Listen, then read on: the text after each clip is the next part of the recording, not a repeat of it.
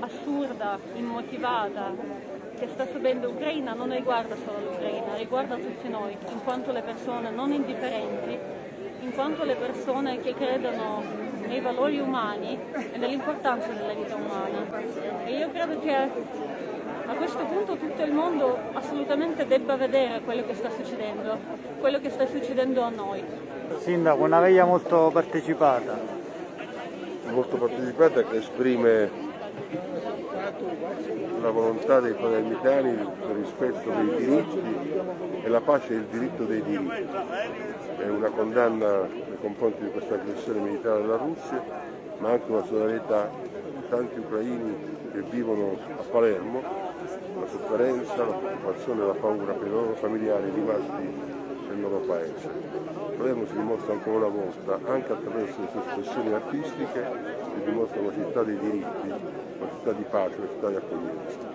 L'ho vista emozionata durante il canto del coro delle voci bianche. È stato bellissimo sentire Mozart, anche queste stesse immagini che sono state cantate dal coro di voci bianche che adesso si è fuso col coro arcobaleno, conferma proprio quel colore dell'arcobaleno che illuminano la facciata del Teatro Massimo, che sono il simbolo della pace, siccome il Palazzo delle Acque è illuminato da questa sera con i colori azzurro e giallo della bandiera dell'Ucraina.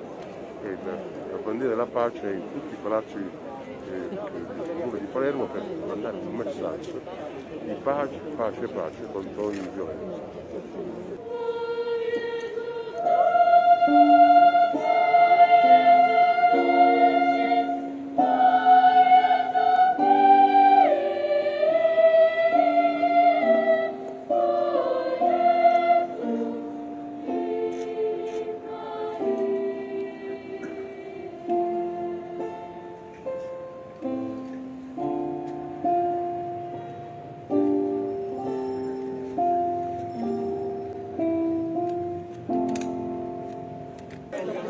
Dobbiamo stare molto attenti a, non sottovalutare quel che sta accadendo, il ricordo uh, dell'Europa nel 1939, eh, le pretese egemoniche di dittatori sanguinari allora come oggi preludono a un rischio uh, di disastro per le, per le democrazie e per l'Occidente. Oggi dobbiamo provare a essere solidali con l'Ucraina, dobbiamo provare a contrastare le tecniche di disinformazione eh, di questo dittatore sanguinario che si chiama Putin e dobbiamo accettare i sacrifici che certamente verranno dalle sanzioni durissime che oggi dobbiamo far sì che i nostri governi approvino per reagire a questo atto di guerra sul nostro territorio.